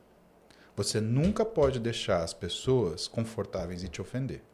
Então você seleciona um ou dois para você dar uma resposta de massacrar, que não é para essa pessoa, é para as outras. É para o movimento. Exatamente. Então você bate no movimento, porque aí a outra pessoa, opa, é verdade que ele está falando. E principalmente, não para as pessoas ruins, porque as pessoas ruins vão fazer isso de qualquer forma, mas para a pessoa boa, ela não se deixar levar por aquilo de ruim que estão falando de você. Sim. Tá? Isso aconteceu no final do ano. E assim, a, a minha esposa ela nunca tinha visto isso. Né? E ela olhou aquilo e ela perdeu a vontade. Falou: Não sei por que você faz isso. Para ser xingado, isso é uma tolice. Para de fazer isso, assim, assim, assado. E demorou muito tempo para ela entender o que, que é essa função da gente conseguir ter uma, uma, uma responsabilidade social por causa do trabalho que a gente faz. Sim. Sabe, é, trabalhar com saúde, a gente tem uma responsabilidade social, principalmente hoje. Domingos, quanto que você vê gente de vendendo, aliás, mostrando problema para vender solução? Putz, um monte. Cria dificuldades para vender facilidades, né? Galera, Não. é só isso. E aí fala, não, para mulher que tá grávida, pode isso, não pode aquilo, você tem que fazer isso, tem que fazer aquilo. Você fala, tá, mas, é, cara, de onde você tirou isso? Ah, já você tá fazendo, você tá usando um argumento de autoridade. Não, eu tô perguntando para você, de onde você tirou isso? E parece que o errado somos nós. Sim. Quando questiona alguma coisa, é verdade. O médico, profissionalmente, é o único profissional no Brasil que ele é questionado livremente por não médicos e as pessoas dão mais credibilidade para os não médicos do que, do que para os médicos. Faz sentido isso? Sabe, é, é, eu faço uma pergunta no Interligas, né, que é o, programa que eu tenho com os meninos né, de, de, de graduando, e que a gente faz uma mentoria para profissionais, que é o seguinte: seu filho está com uma doença gravíssima no cérebro que ele pode morrer. Você escolheu um médico. Se esse médico ele estuda e se aplica no trabalho do mesmo jeito que você estuda e se aplica para o seu, você confiaria nele? Eu coloco a responsabilidade no colo da pessoa. E aí? Para ela pensar se ela está fazendo melhor. Sim. E automaticamente, o que, que ela vai fazer? Ela vai perguntar: mas será que a pessoa que está falando aquilo para mim também está fazendo o melhor dela? E a gente fala de, de, de, neurocirurgia porque é uma coisa assustadora mesmo, né? Os problemas neurológicos que a gente tem, dificilmente a pessoa sai 100%, né, como se nada tivesse acontecido. Ou, infelizmente, ela perde a vida, ou ela tem uma série de limitações É muito delicado, né? É extremamente delicado. A gente fala na cirurgia de coluna, por exemplo, a gente está falando de seis horas de procedimento, né? oito horas de procedimento. Né? Não é, ah, vou trocar uma lâmpada. Sim. Né? É uma coisa muito absurda. E não do que a gente faça não seja, mas é que é, é uma gravidade exposta. Né? Quando a gente fala da obstetrícia, a pessoa ela lembra de 99% do que é bom. Né? Pegar o bebê, entregar para a mãe. E as complicações. Que lógico. foi uma das razões, por exemplo, que eu assustei quando eu fiz, quando eu fiz, uh, quando eu estava na gineco. Eu, eu lembro disso nitidamente, uma coisa que marcou minha vida. O André Matar, que hoje é, ele está no Ai, ele é chefe da mama do. Acho que do AC Camargo, se não me engano. Não, do Pérola Byton. Do Pérola. Ele era R3, eu era R1 de ortopedia. E aí, meu, a gente estava junto no centro cirúrgico, de repente entrou uma parturiente, parto de emergência. Cara, ele fez uma cesárea em 30 segundos. E não tinha quem ajudasse. Ele pegou cintura, chega aí. Eu fui com ele. R1 de ortopedia, dane-se. Fui com ele para enquanto chamava pediatra, não sei o quê, porque não tinha tempo. Meu amigo. 30 segundos. Adrenalina foi um negócio. Pô! Eu, eu, saí dali, eu contei até três. A hora que terminou, eu fui vomitar de nervoso. Sim. Eu chorei de nervoso. Falei, cara, não é para mim. Porque um negócio que todo mundo espera que dá muito certo, quando dá errado, aquilo te é mata. É muito errado. Mas é... É, é, é uma desgraça. Exato. Ele podia perder a mãe e a criança. Sim. Cara... Não, é. A obstetrícia, a gente fala, a gente trabalha com um milagre da vida, é maravilhoso, mas só a gente sabe, né? As dores de cabeça que a gente tem quando pega um caso grave e a gente quer manejar o caso grave também sem passar essa gravidade para o paciente, também Exato. não viver uma gravidez doente, sabe? Exato. Então a gente guarda muita coisa, Sim. óbvio, orienta o paciente, mas sem também deixar aquele peso de que, tipo, ah... Vocês guardam tudo. Entendeu? E, e durante o trabalho de parto também. Então, também, eu falo que a obstetrícia é a medicina da gente se antecipar ao problema, né? Sim. Evitar, obviamente, qualquer atitude intempestiva e procedimento desnecessário, mas também saber a linha tênue em quando você indicar no momento certo para que você tenha um melhor desfecho favorável. Os meus professores de obstetrícia, eles falavam isso, que obstetrícia é a arte de você antecipar o problema. Sim. Né? E, e, assim, é, é, o que eu te falo. É, quando tá todo mundo esperando uma notícia boa, vem com uma triste, né? Sim. né? Não, Só que ninguém... é o que eu te falei. Né? É, as pessoas, elas estão acostumadas a beber, chorando, Ei, felicidade, felicidade. Agora, quando a gente fala, por exemplo, de neurocirurgia, que aquilo é uma coisa que é sempre muito triste, muito dolorosa, muito grave, muito difícil, né? aí a pessoa tem a dimensão do que é o problema. Sim. Então eu trago a responsabilidade presente. Falo, olha, para o seu filho. E quando a pessoa fala, para o meu filho, então pera lá, quem é você que está falando isso? Então, essas condições para a gente trazer em planos reais o que, que é a responsabilidade da gente, porque uh, como a gente faz há anos, parece fácil, Sim. mas não é. Não é. Tem e muita dedicação, qual é, sabe qual é o né? grande problema? O novo diploma é o número de seguidores. As pessoas na internet hoje bem. têm autoridade de acordo com a quantidade de seguidores. Então, muitas vezes, um médico que tem mil seguidores e um blogueiro não médico que tem um milhão de seguidores vai ter mais autoridade, às vezes, Sim. no que está falando do que o médico. Sim. E isso é o errado. Isso é errado. O médico perdeu muita credibilidade, muitas vezes pela quantidade de seguidores que ele tem. Porque eles acham que a medicina também é uma coisa que se mede por conta de fama em rede social. Sim, e não é, porque às vezes é. o médico o ele fala coisa né? infame. Sim. Ele fala coisa que a gente não quer ouvir. Ele lembra da gente coisa que a gente quer esquecer ou não gostaria de saber. Sim, ou fala a verdade que a gente não quer, né? Exato. Também, né? muitas vezes. Mas lembrem as pessoas que a gente guarda 99,9%. A gente fala para a sociedade 0,1%. Sim. Exatamente. Por quê? Até porque a gente não pode, né? Pela nossa norma ética, né? Você Sim. não pode assustar as pessoas. E o Nesse- pouco que a gente nesse- fala é informativo. Sim. Nesse seu grande desafio que você teve, é, eu sempre, quando a gente passou vários desafios na nossa vida, que foram às vezes alguns bem intensos, a gente, de- durante o processo, é difícil entender, mas eu sempre acho que tem um propósito. Pra você, você já conseguiu enxergar? É, teve algum lado positivo depois de você ter chegado ali num momento muito tenso, muito ruim pra vocês, mas vocês conseguiram ressignificar também de alguma coisa boa? Ou de se prote- proteger, ou ficarem mais fortes? Como que você lida hoje com isso? Érica, não teve nenhum. Não existe lado positivo em você ser ofendido. É, isso sim. sabe? A- Uma pessoa te agredir não tem nada positivo. Ah, eu aprendi. Não, não, não é assim. né? Principalmente, pessoas inteligentes aprendem por amor. Não precisa levar E porrada, eu, né? e, Não pela e eu dor. e minha família, a gente sempre, não que foi inteligente no sentido de ser eh, capacidade intelectual, Sim, né? sim. É, é no sentido de buscar as coisas de uma emocional. forma exato, controle emocional para a gente buscar as coisas de uma maneira serena, de uma maneira realmente amorosa, porque é uma forma de uma memória ela criar melhor. Sim. E, e- e essa manifestação que assim não me afeta, mas é, fez a nossa família falar assim, ah, cara, então vamos deixar isso para lá. Se o pessoal não quer ouvir o que a gente tem que falar, se eles preferem ofender a gente, vamos guardar isso só para quem está no consultório. Aí sabe o que aconteceu? E começou a acontecer? A gente estava nos Estados Unidos. O pessoal parava a gente nos Estados Unidos. Poxa, Paulo, Roberta, cara, vocês são demais. Eu fico vendo vocês, eu emagreci tantos quilos, eu nunca passei num, num, num- profissional. Aí a gente voltou no Brasil, cara, parava num lugar, o segurança vinha, ai, desculpa, deixa eu, deixa eu cumprimentar vocês, eu assisto vocês, assim, assim, assado. E aí, o que, que foi a, a, a lição? As pessoas que têm amor para te entregar, elas vêm para te entregar pessoalmente. As pessoas que têm ódio para te entregar não têm coragem de fazer isso pessoalmente. É, não tem mesmo. Então, isso está associado à covardia.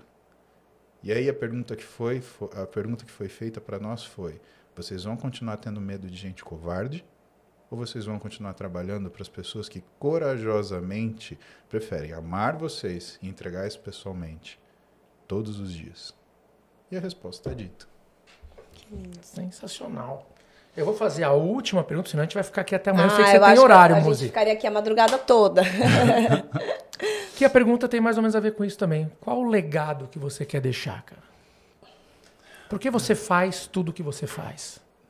Porque eu só tenho uma vida, do e eu aprendi com meu pai a fazer o melhor possível. E eu aprendi com a minha mãe é, que se for para fazer o melhor possível, não me arrepender do quanto custe. Né? São duas pessoas completamente diferentes, né? meu pai e minha mãe. Meu pai é um sujeito extremamente materialista e cético. Minha mãe é uma pessoa completamente amorosa e, e- e de, outra, de outra natureza. Meu pai é das exatas, minha mãe é das humanas. Não, não tem nada a ver, né? Agora, eu não, eu não penso em legado, não. Eu não, eu não carrego esse peso para minha morte. Né? O que eu carrego é saber a quem eu devo minha, minha lealdade. né? Então, eu já falei isso uma vez, né? talvez não com essas palavras, mas ah, 90% do que eu tinha para falar, eu falei. Né? Medicina é finita, a gente acaba repetindo, repetindo, repetindo. né? O que eu precisava fazer, eu fiz. Os exemplos que eu precisava dar, ao meu custo ou à minha, satisfação, eu dei. A única pessoa que tem que me balizar é minha mulher. Então, a única coisa que eu quero é, sabe, esse- quando chegar meu momento, que vai chegar, né, eu quero olhar para ela e saber que ela aprovou minha vida, que a vida do lado dela foi, né, valeu a pena. É a única pessoa que me interessa a opinião, né? Então, sabe, eu quero ter, ter essa calma, né? Eu quero ter essa serenidade.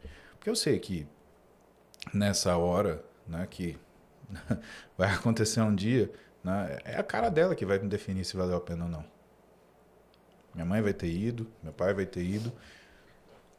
Eu não acho que filho mereça ver um pai morrer, Nossa. sabe? De verdade. É, é- a gente,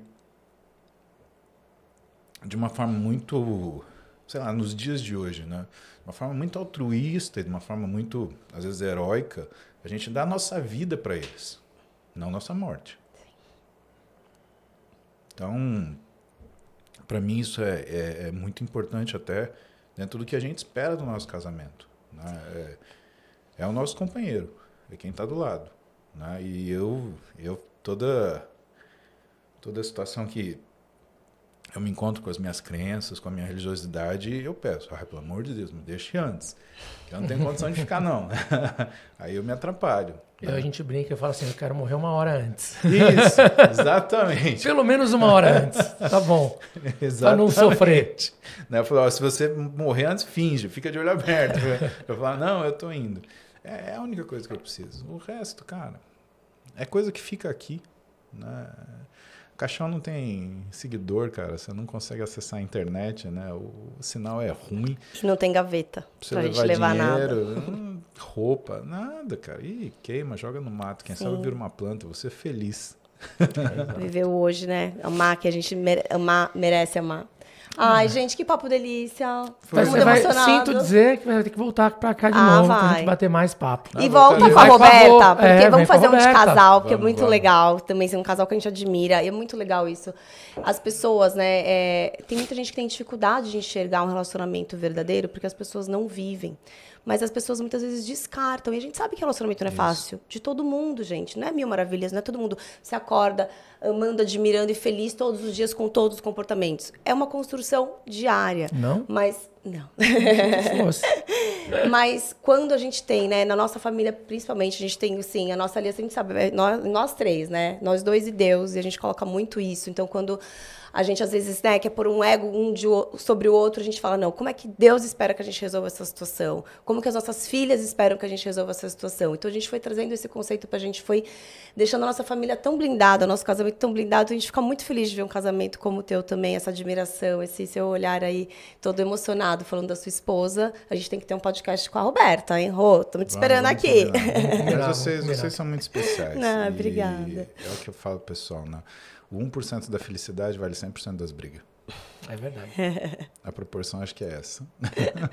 Obrigado. Imagina. Vou pedir pra você olhar pra aquela câmera ali, Aqui, ó. deixar o teu último recado, suas redes sociais, o pessoal te acompanhar. É difícil alguém não conhecer É, o gente, Paulo quem não Musi, mas quem não conhece, por favor. Pessoal, só obrigado aí pelo paciente estar com a gente nesse, nessa noite. Um beijo para vocês. Fiquem bem com Deus, que tudo dê certo para vocês. Vocês tenham um dia maravilhoso, uma noite maravilhosa. Vão namorar, tá? Isso é muito importante. Amor não é um sentimento somente, ele também é um ato, né? Então pratiquem, né? E para me encontrar às sete da manhã, arroba Paulo Musi. Eu tô lá, É falando isso. para vocês, pedalando minha Pedalando. balançando. Muito, Muito bom. bom. Uma salva Bom, de palmas. Muito obrigado. Obrigada. E estaremos Então, juntos ainda no Medgest, hein? Gente, Verdade. teremos Paulo Musi no MedGest, nosso curso de gestão médica. Que 4 de junho, né? 4 de junho. Mas o Convida- curso vai ser 2, 3 e 4, né? Vai ser 2, 3, 4 e dia 5, que é um dia extra, que a gente tem uma visita guiada na clínica. Ai, Que é para alguns. É, algum. um- É um curso de gestão e plano. empreendedorismo para médicos. Nossa, então, muito, muito bacana. legal. Muito, Muito legal. Vai ser muito, uma honra ter você com a gente. Não, pra Então. mim. Muito E você, feliz. que além de tudo é um baita gestor, Sim, vai empreendedor e ensinar tudo muito. mais. Então, gente, muito bom. Olha, podíamos ficar aqui por horas e horas e horas batendo papo, porque assunto Rendeu. não falta, mas foi muito bom. Então, se você ainda não segue a gente, vai lá, Mantelecast, arroba Mantelecast, Mantelecast Cortes. Estamos no YouTube, no Spotify, no Deezer, no Amazon Music. Todas as plataformas Todas as plataformas você encontra a gente. Deixe seu comentário. Todas as quintas-feiras, um assunto novo, um convidado novo. Sempre, hoje um convidado de peso, literalmente. Maravilhoso. um assunto de peso. Então, deixa aqui os comentários o que você achou. Aciona o sininho, acompanha a gente. E encaminha pros amigos, pros inimigos. Não, não pode ter inimigo. Mas encaminha para todo mundo, porque é sempre um prazer ter vocês aqui nessa nossa casa. Beleza? Muitíssimo obrigado. Beijo, um beijo, beijo, beijo. grande. Até a próxima. Valeu! Muito bom. Muito bom, muito bom. Obrigada. Excelente. Foi ótimo. Rendeu, hein, Raquel? Você vai ter bastante cortes aí, né? Foi bom, né? Falamos de tudo. Nossa. Vamos lá. Peraí. Todos prontos? Fica com uma da outra pra mim. Aí você apresenta. Tá. A bolsa não tá saindo. Perfeito. Vamos lá. Um, dois, três e... 3, 2, 1. Fala galera, tudo bem com vocês? Dois, No começo a gente pede pra você ficar um pouquinho afastado.